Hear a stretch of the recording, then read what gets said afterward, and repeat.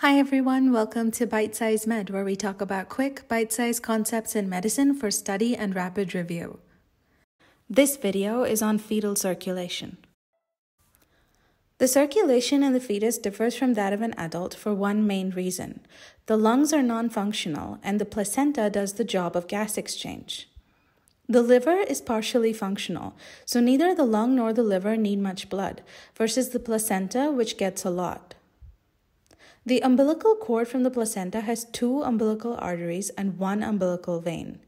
Compared to the usual arteries and veins, the umbilical artery has deoxygenated blood and the umbilical vein oxygenated blood. Why does that happen? Because the placenta is the one that's oxygenating blood. So the vein which carries blood from the placenta to the heart will be oxygenated, and the arteries which come from the heart to the placenta will bring deoxygenated blood for oxygenation. Now let's look at the circulatory pathway. So, fetal circulation is dependent on shunts. There are three bypass shunts one at the liver, one at the heart, and one at the great vessels. The umbilical vein carries oxygenated blood from the placenta to the inferior vena cava. This is 70 to 80% saturated. The blood bypasses hepatic circulation and enters the IVC via the first shunt, that's the ductus venosus. So, very little blood enters the hepatic sinusoids. In the IVC, the oxygenated blood from the ductus venosus tends to stay relatively separate from the deoxygenated blood coming from the rest of the lower half of the body and portal circulation. The blood enters the right atrium from the IVC. There's a valve of the IVC called the eustachian valve at the junction with the right atrium, and that directs the more oxygenated blood towards the second shunt, the foramen ovale. This is an opening in the atrial septum so that blood can reach the left atrium. The rest of the deoxygenated blood coming from the head end of the fetus through the superior vena cava and from the lower half of the body and portal circulation through the IVC, they go through the tricuspid valve into the right ventricle. From the right ventricle, blood enters the pulmonary artery.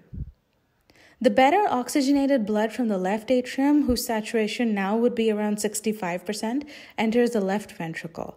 From the left ventricle, the blood enters the aorta. Majority of the oxygenated left ventricular blood goes to the brain and coronary circulation, so the vital structures are getting good oxygen. Distal to the origin of the left subclavian artery is shunt 3, the ductus arteriosus. It's a connection between the pulmonary artery and the aorta. So, blood from the pulmonary artery goes through the ductus arteriosus to the aorta. Thanks to this shunt, only around 12% of blood that comes out of the right ventricle reaches the lungs. The rest goes through the ductus arteriosus to the aorta. From the aorta, blood gets supplied to the rest of the systems. It passes through the umbilical arteries back to the placenta for oxygenation. So, in both these shunts, blood moves from the right side to the left side. Why does that happen? So, the fetal lungs are collapsed. The alveoli are closed and the pulmonary vessels are collapsed. If the vessels are closed, the resistance to blood flow is high. That's the pulmonary vascular resistance. So that's high, and thus the pulmonary arterial pressure is high, as is the right atrial and the right ventricular pressure. The placenta, on the other hand, has large vessels, so the vascular resistance in systemic circulation is low. Because of the low systemic vascular resistance, there's a low aortic pressure, a low left atrial and left ventricular pressure. So, since the right atrial pressure is higher than the left atrium, blood flows through the foramen ovale from the right atrium to the left. Similarly, the pulmonary arterial pressure is higher than the aortic, so blood flows from the pulmonary artery to the aorta. So, right to left shunts, and thus they bypass the lungs so blood gets immediately recirculated through systemic arteries without the lungs.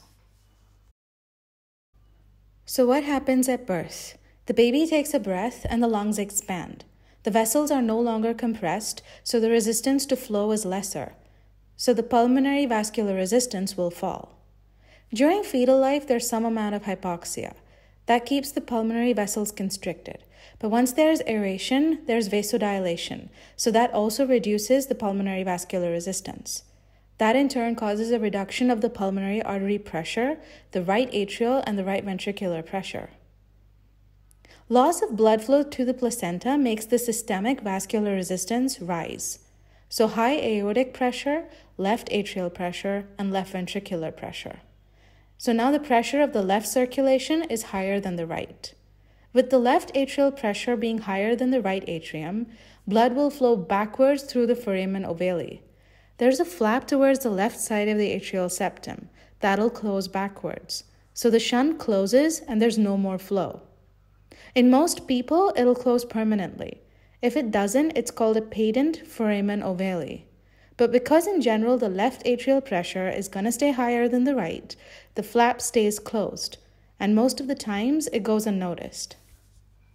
High aortic pressure and low pulmonary artery pressure means blood flows backwards through the ductus arteriosus as well. In a few hours, the muscles in the wall will constrict, more so over the next 1 to 8 days. The flow stops, and this is a functional closure. Over the next 1 to 4 months, once fibrous tissue grows into the lumen, that's when it anatomically closes. So, what makes the ductus close? There are two possible reasons. One is high oxygen tension. The partial pressure of oxygen increases from 15 to 20 millimeters of mercury during fetal life to 100 millimeters of mercury once breathing starts. Also, there's a loss of prostaglandin E2, and that has vessel relaxing effects. So, PGE2 keeps the ductus open. If the ductus remains open, it's called a patent ductus arteriosus.